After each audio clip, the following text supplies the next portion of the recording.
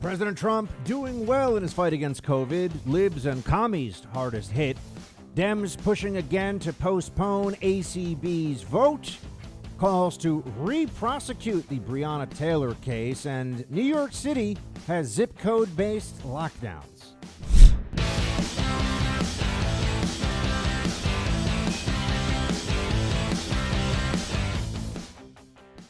Welcome, friends, to the Buck Sexton Show. Quite a weekend.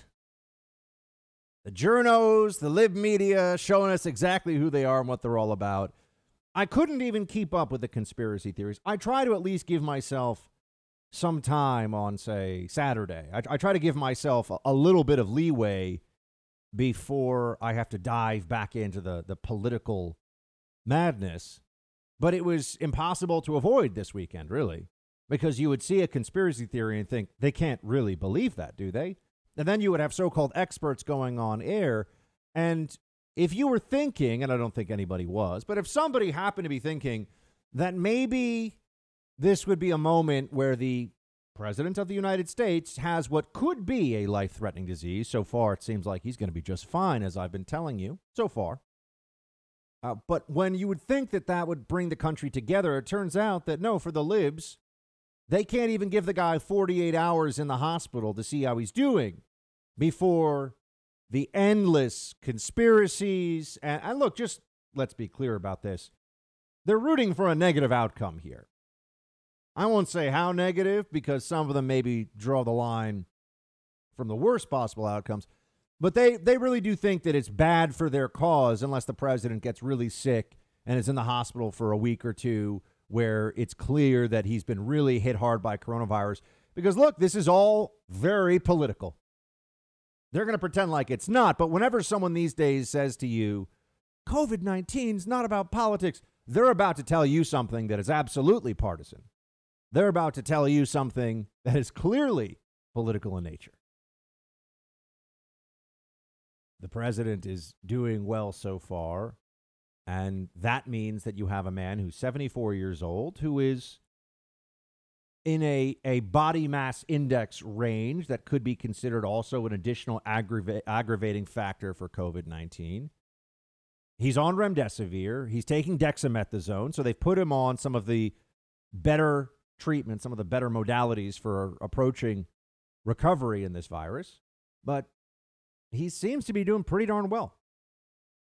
And the libs are going back and forth. I can't tell what the conspiracy is going to be because it changes every few hours.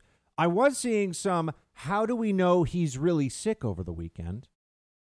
And I'm not talking about random internet trolls. I mean people who are professional commentators, people in the media, journalists, saying that they, they don't think that we can really trust the president of the United States even has COVID 19. Maybe this is some kind of scam.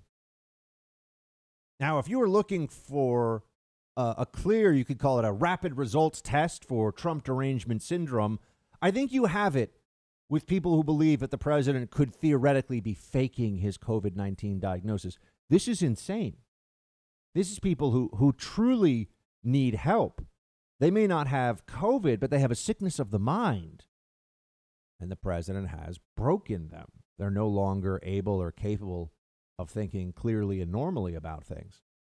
Uh, then the other side of this uh, is that the president is getting what the the president uh, put at risk Secret Service agents because he went out and was in a car where there were a couple Secret Service agents driving, and it was a, a short duration, but he was waving, and the journos were apoplectic about this completely freaking out, very angry because they're saying he put those uh, those agents' lives at risk. And I even saw one anonymously sourced, of course, Secret Service agent who was saying that you know they're willing to take a bullet for the president, but not from the president. Was the line that was making the rounds over the weekend. First of all, uh, the president's health is not the health of just a normal person in that it affects our national security, it affects the economy, the markets will move up or down based upon this.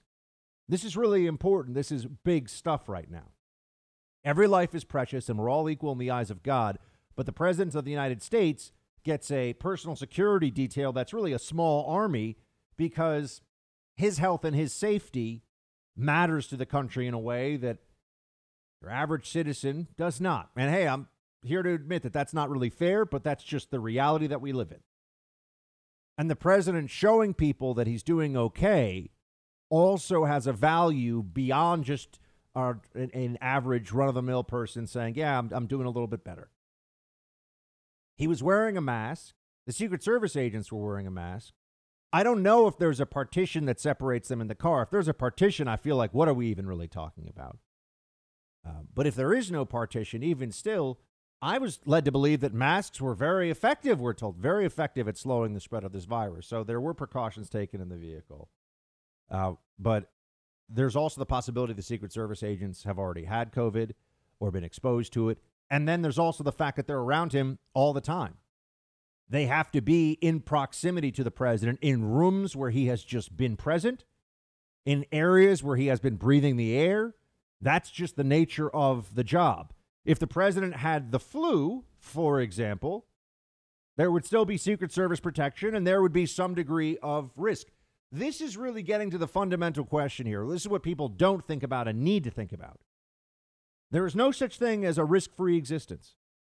And there is no such thing as a government that can protect you from all of the risks, health and otherwise, from daily life. And if they try to do that, you are living in a tyranny.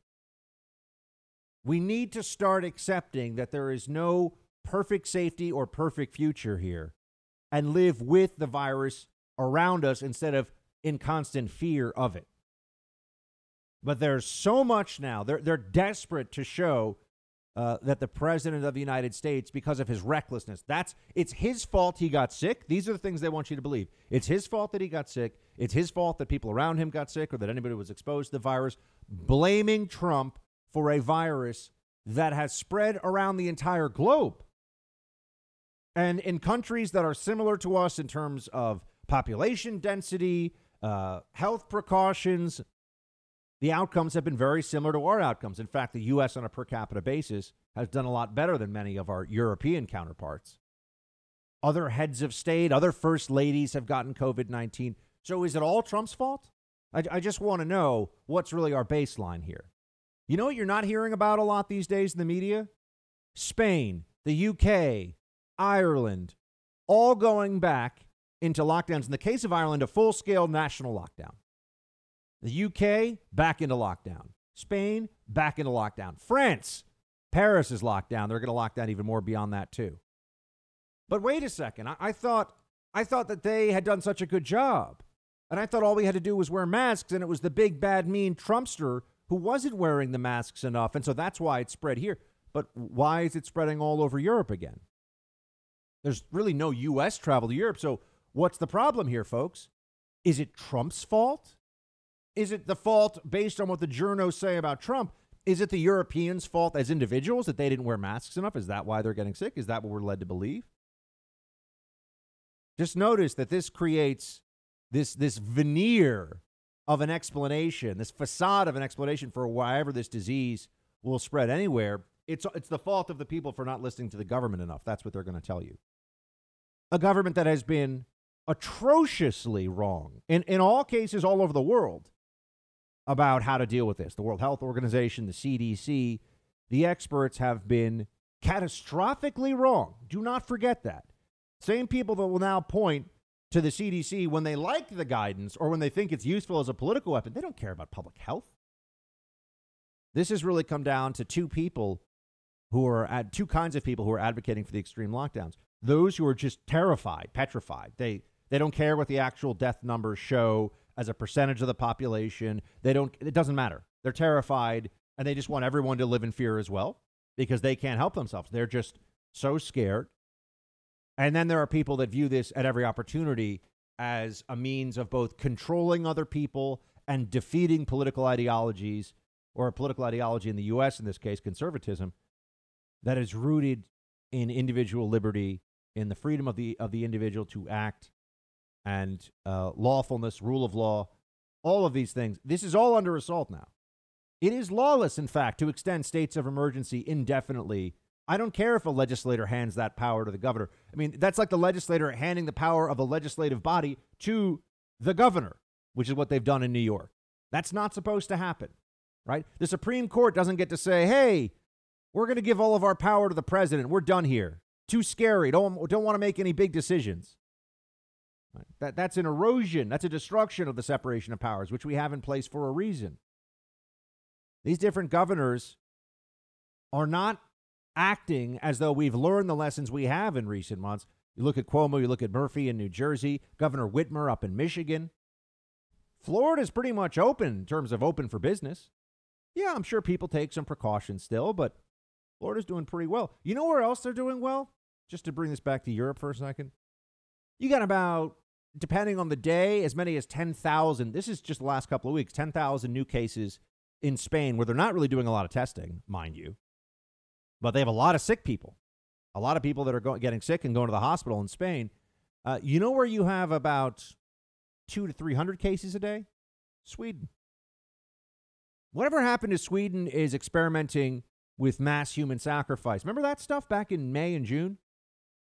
Why is it that Sweden, which is even colder, so you'd think there'd be more indoors and more shared air circulation than you do in, say, Spain, why does Sweden only have a few hundred cases a day?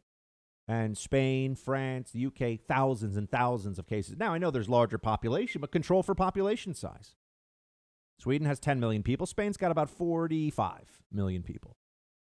So 4x. Okay, 200 cases times 4, 800 cases. Is that 10,000? No. So why does Spain have so many more? They keep acting like shutting down society and telling us all to stay in our homes is some brilliant scientific method to control this. Like this is some epidemiological breakthrough. No, you're shutting down society. And once society starts getting going again, there will be some more spread of this disease. We knew this in the beginning. It was flattened the curve for 15 days. If it was really about stopping the disease in its tracks until a vaccine was in full distribution everywhere, how could we have ever thought it was going to be 15 days? And that was Fauci and all the experts. How could we have ever thought that that was really a plan? 15 days was just meant to get the hospitals up to speed so they could handle it. And then we were supposed to transition back to normal life as closely as we could. And remember, while we had 15 days and then 30 days and then 60 days, huge spikes in cases in New York, New Jersey, continued. More and more transmission, more and more transmission going on. It had already been seeded all throughout the population. And what lesson do they learn?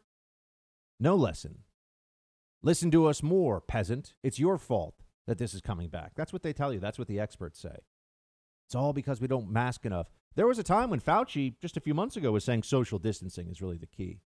But then they realized social distancing is a fancy word for not living life and being around people. Treating everyone, healthy and sick, like we should all be in quarantine. Social distancing is effectively mass mass quarantine. That's what they're telling everybody. That was the idea. And we think that this is a, a path forward. And it's not even remember, it was locked down until the vaccine is too damaging to society. We can't advocate for that. That's what the experts were saying. Now it's, well, we don't know how effective the vaccine will really be. And there'll be a percentage of people that, you know, that, that it doesn't work for, and we have to distribute it. So now we're going to, we're going right now that the timetable the Democrats are on is they want Biden to win. And then 12 months from now, maybe they'll start thinking about actually stopping the panic. Maybe once they've had a full year to institute more policies, to propagandize more, to use the state of emergency to, you know, transition into we need a climate emergency declaration now, all that stuff. Then maybe. So you're signing up for at least another year of this insanity if the Democrats have charge of the federal government. And at the state level, unfortunately, New York, California, New Jersey, we are screwed. Our governors have learned nothing. They're morons. They've learned nothing. Oh, actually, they like this. They like the power, certainly, of all of this. And the lib elites don't miss a paycheck, don't mind working from home. A lot of them have multiple houses to go to. They're fine. They, they don't see this as being a big deal. And when they really need to break the regulations and stuff to go to a fancy party, they're just going to be you know careful about that. Meaning careful not with COVID, but that they don't get caught. That's what you're going to see. That, that's what's already been happening. But then Trump comes along, and this causes a problem for the liberals. It causes a problem for the Democrats. So you have a 74 year old man of some girth. Not that I'm judging because it's been tough, tough lockdown for all of us, but 74 year old man of some girth who may be able to basically beat this thing in a few days. Okay. We're all living in fear of this virus. We're crushing our own economy, destroying millions of businesses, and at each other's uh, uh, at each other's throats in public over whether we're wearing a piece of cloth that doesn't actually seal anything around our mouth. But you know, maybe it lessens, lessens the transmission a little bit, so we all have to do this now, right? That's what this is not based. There's no data to show you on this. They just say do this. Okay. But if the president beats COVID and then beats Biden, I don't know if the left can even handle this. How could they be more broken than they are? Aren't they already emotionally and psychologically shattered? I really hope that this is what happens, and I think it will. But I also wonder what the country will be like when the libs realize for all of their machinations, all their schemes, plotting, and dishonesty, they still lost. What does the COVID 19 pandemic have to do with you losing your home? Well, it's pretty straightforward, you see. The FBI is telling people that cybercrime's up in general about 75%, and home title theft is a cybercrime. The bad guys find your home title information online, they kick you off using a quitclaim deed, put themselves on, and then take out loans against your home's equity. You often won't find out about this until you receive the payment notices or perhaps even a foreclosure notice in the mail. The usual identity theft services do not protect you against this. You have to protect your home's title with Home Title Lock. Just go to HomeTitleLock.com. Use the promo code RADIO for 30 free days of protection. You can also check at the site to see if you're a victim of this crime and don't even know it yet. Create a virtual barrier around your home's title with Home Title Lock. Go to HomeTitleLock.com. Use the promo code RADIO for 30 free days of protection. Do it today. Take action. Protect your home and its value.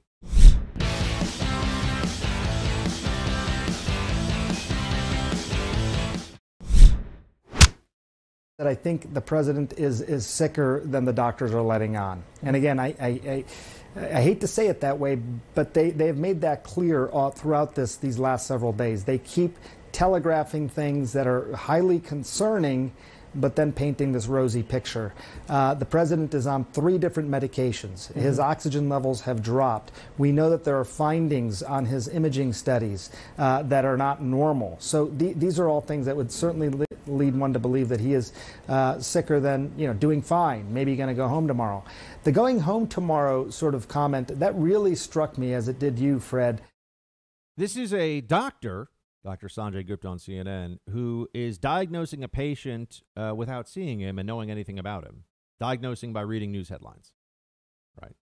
I think he's sicker than the doctors are saying. Really? What the heck do you know? But this is what you have to do. You go on CNN, reckless speculation about the health of the commander in chief. No big deal over at CNN. Saw a hilarious graphic making the rounds that as the president continues to improve from COVID 19, CNN's flag is at half, half staff outside its Atlanta headquarters. And it's, of course, a flag of the Chinese Communist Party outside. It's great. It's great. Uh, that was a fun one. Yeah, CNN is, is a is a disgrace and it's atrocious. But he, here you see, instead of just coming together here for the country, I mean, they're they're rooting against the president and spreading lies about what's really going on with him. And you have to ask the question, I mean, about that Chinese Communist Party flag joke uh, or you know the People's Republic of China, uh, the, the the CNN folks, the journos, if we were invaded by China tomorrow, you have to ask, who do you think that they'd be rooting for? I don't know. I, I start to wonder. With Trump as president, it's a close call. Normally, I'd say they'd root for America, but with Trump as president, I don't know.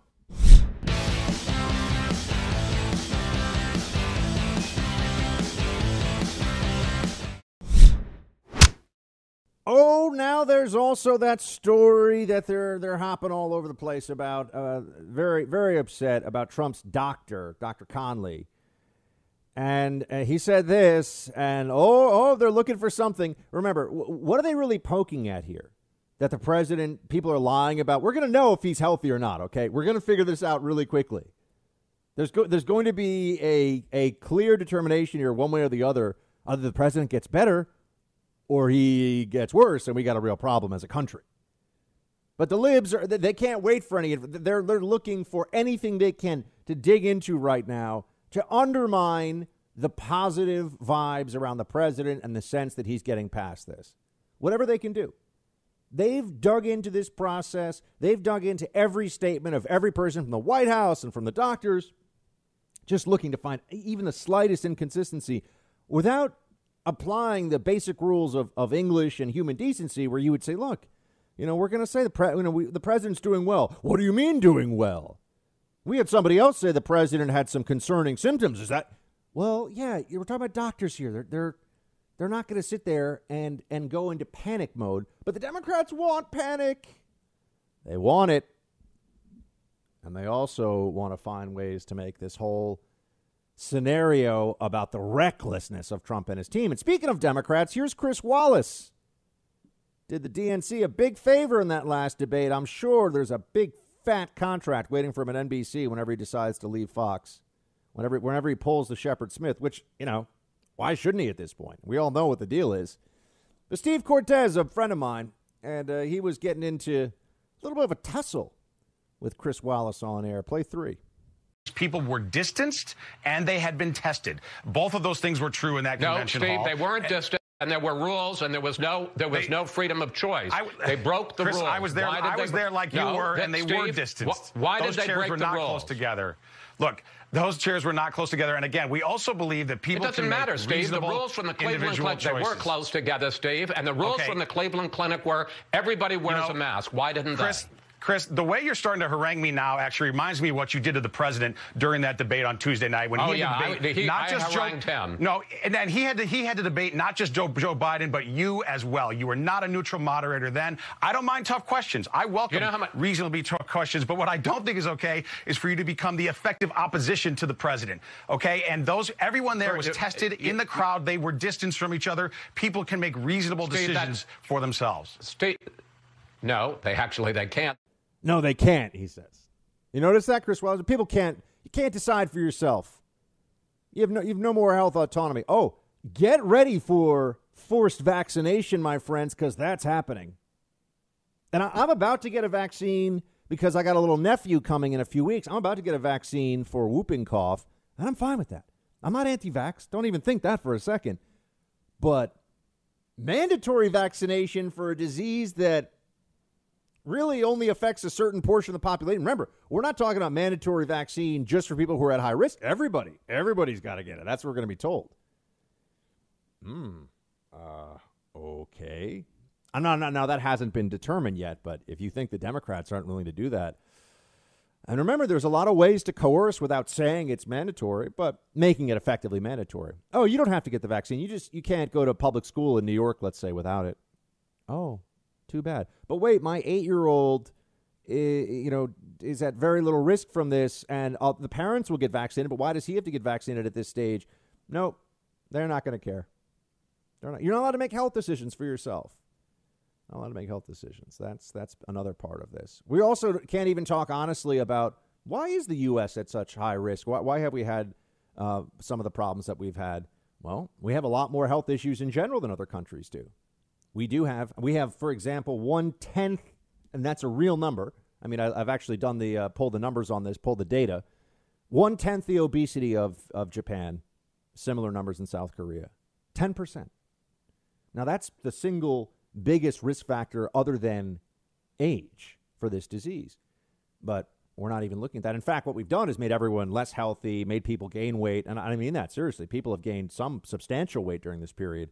Not helpful not helpful for the uh, inflammatory system, uh, inflammatory systems that kick in if you, if you do get this disease. But instead, what we have is all all all of the above policy, right? One size fits all. That's top down from the federal government, especially if Biden wins.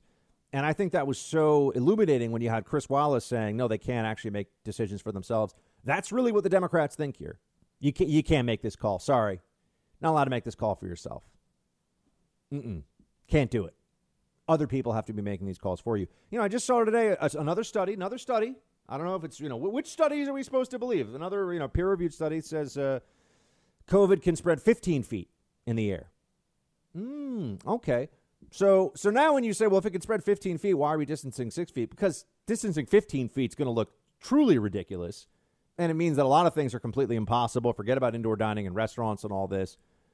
But it also raises the point well, so what are we really going to do here? We're going to live in a society where we stay, you know, 20 feet away from each other. Why not 30 feet? You know, if, if you're really worried about this, shouldn't it just be 30? Well, then just just don't be in the same indoors environment with any other human being for as long as we have this. I suppose that's the direction we're going into now. I mean, the libs have really convinced themselves. I see it now more than ever that if only we complied more, and this is hitting the Midwest hard right now, right? A lot of cases in the Midwest. Texas has been through this. Arizona's been through this. Florida's been through this. Georgia's been through this. You know, it's been through the South. Now, when in the early days of this, I remember I was doing this show from New York. The pandemic was, you know, people thought it might have had a up to a 3% fatality rate, which would have, you know, we are talking about Spanish influenza numbers you're getting there. I think Spanish influenza was 5% fatality overall, but that's it spread like wildfire, and that was millions and millions of people dying from it.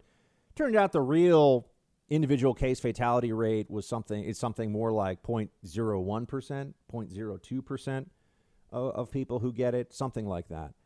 And and that's for all age groups and all all health uh, all health profiles. I remember in the early days people saying, "Oh, Buck, but it's not going to be that bad elsewhere." No, it spreads all over the place, and it's highly contagious. And we know this now. We've seen this. Uh, we also know that there have been periods where, as I've said to you, in New York, and I, they want you to forget about this. You, di- I did not see an unmasked person in Manhattan indoors for months, months, and people were wearing masks and gloves, and the cases kept kept going up and up and up and up and up for about ten weeks.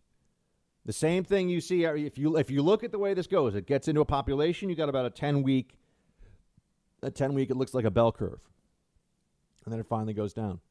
And if you look at mask mandates and when they're instituted and what ends up happening afterwards, there's no correlation between government mask mandates and cases going down. That you can, I mean, it happens in some places, in other places, it's the opposite.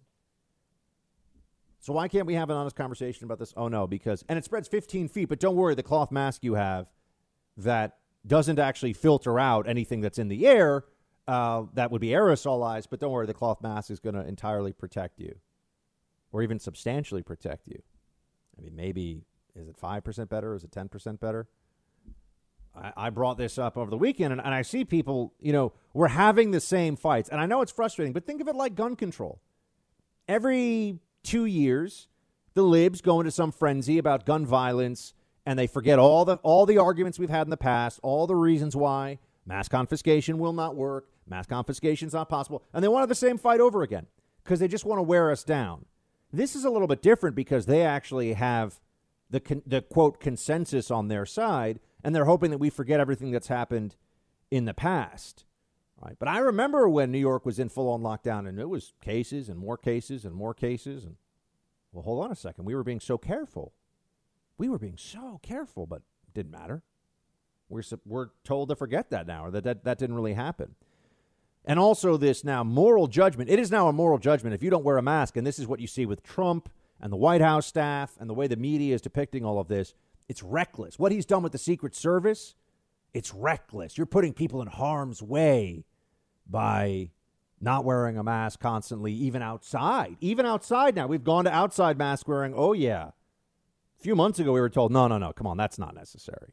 By the same health authorities that now say, oh, no, it's necessary. Because what they keep mandating that we do does not work. So, what do they do next? Mandate the next thing and say we didn't do the thing they mandated well enough. Lockdowns, friends, are like communism. It's never that the system is rotten, the system is ineffective. It's that we didn't do it the right way. And apparently, all of us have been murdering people with the flu for as long as we've been alive because we weren't wearing masks. People who believe in the sacred powers of cloth masks will dismiss this. They'll say, eh, it's not the flu. No, really think this one through. Forget about the idiots who can't think for, this, uh, for themselves.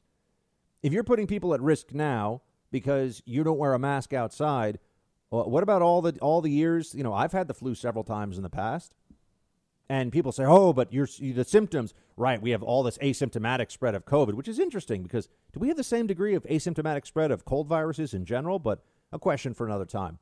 But even with the flu, you are you are contagious, very contagious for 24 hours before you show flu symptoms. So we've been infecting people because we don't wear masks and social distance during flu season. Tens of thousands of people die every year. And the only, they'll, they'll dismiss this, but the, the real answer is well, 30 to 60,000 flu deaths every year isn't that bad, and Trump wasn't president. Those are the only answers that they act when they're actually forced to look at this issue and look at this question. Those are the only answers. There is no other answer. I'm sorry, as you can tell, I'm very frustrated by this. And, and I'm frustrated that people aren't willing to be uh, honest about what has happened and what is happening and we're all supposed to live in this fantasy land where if only Joe Biden was Joe Biden is a moron, okay? If Joe Biden was in charge, this would all be better. It's not possible to be really intelligent and believe that. I'm not saying Trump has done some great job. I don't think anyone's done a really great job because ultimately I think the government isn't able to do that much about this. It's not that much. If, if I'm wrong, explain to me why most of the westernized industrial countries around the world have had pretty much the same outcome, which is really bad. But that's obvious, isn't it? Think it through. Think for yourselves. One of the reasons why I appreciate those you listen to the show is that they, you listen to this because of the thinking we do here, the analysis we do. I don't have the biggest flat platform. I don't have a show on Fox News. I don't have a lot of people putting up billboards of me all over the place. We just think better than other shows. And you, my friends, are a part of that.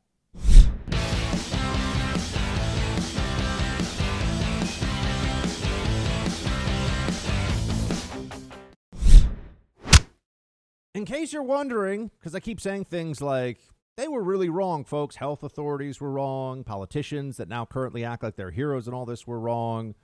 Here's a little trip down memory lane, courtesy of uh, Grabien. And it involves the New York City health director, the mayor of New York, a few other people on there from the Nancy Pelosi, other people on there from the early days who were telling people uh, not only should they be out going about their lives totally normally, go right to the uh, Chinese Lunar New Year festivals in Chinatown in San Francisco and in New York. That's where you want to be. That's the place you should be hanging out. Play two. The risk to New Yorkers for coronavirus is low. And our city preparedness is high. This should not stop you from going about your life, should not stop you from going to Chinatown and going out to eat. I'm going to do that today myself. Come to Chinatown. Here we are. We're, again, careful, safe, and come join us. There is no concern at this time for coronavirus in our region. The Department of Sanitation is ready for Mardi Gras 2020. The facts are reassuring. We want New Yorkers to go about their daily lives. But there's really no need to panic and to avoid activities that we always do as New Yorkers. We are a hardy people. Americans do not need to panic. What I would suggest, however, mm-hmm. is that Americans take this as a wake up call for seasonal flu. There's very little threat here. This disease, even if you were to get it, basically acts like a common cold or flu. Those are all people that are now telling you, sorry, guys, we might have to keep you locked down and in your apartments. You know, stay at home orders, shut down businesses, uh, non essential businesses closed again until we say so. They won't even give you metrics anymore until they feel like you can reopen. De Blasio I, you can't make this up, folks. De Blasio is putting in zip code specific restrictions for New York City.